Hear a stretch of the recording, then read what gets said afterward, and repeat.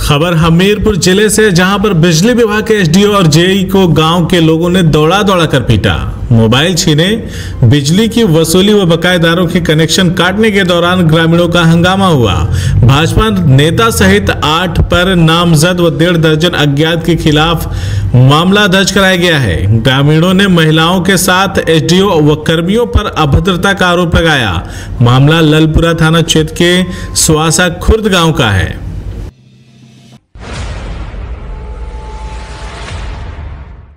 जी, मेरा नाम सचिन सेंगर है। मैं करीब साढ़े बारह बजे अपने घर की पुताई के कार्यों में व्यस्त था।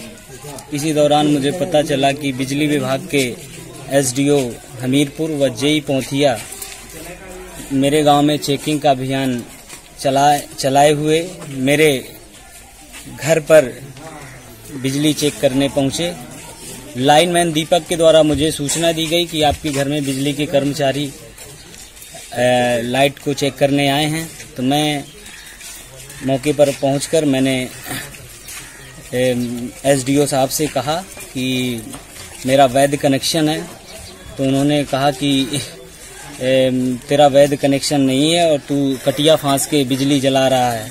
तो मैंने कहा कि नहीं सर, मैं बाकायदा पूरे मेरे पास स्लिप हैं बिजली की और मैं बिजली का वैध कनेक्शन धारक हूँ।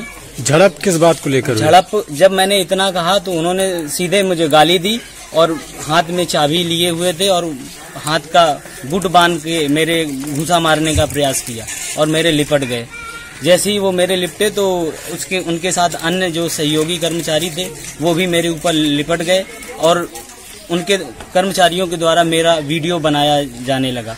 जब वो लगातार गाली मुझको दे रहे थे तो इसके बाद मैंने भी कुछ गालियाँ उनको दी, और इसके बाद वो जब सब लोग मेरे ऊपर लिपट गए, जिस झड़प में मुझे मुझे मेरे गले में चोट भी आई है, और एक मैं सोने की चैन करीब उसका वज़न दो तोला होगा, वो उसी झड़प के दौरान उन्हीं कर्मचारियों में से या उसी एसडीओ, बिजली विभाग या पोथिया, जिसने भी उस चैन को छीना हो, वो मेरी चैन मतलब उस झड़प में मेरी, वो लोग ले गए। और गाली गलौज करते हुए मुझे जान से मारने की धमकी देते हुए वो लोग वापस लौट गए हैं और मुझ पर कार्रवाई करने की बात कर रहे थे और लगातार गाली गलौज करके वापस चले गए। सीआईबी इंडिया न्यूज़ की सभी खबरों को देखने के लिए लाल रंग की बटन को दबाकर चैनल को सब्सक्राइब ज़रूर करें। घंटी ज़रूर दबाएँ ताकि हमारी सभी खबरों के नोटिफिकेशन आप तक पहुँचते रहें।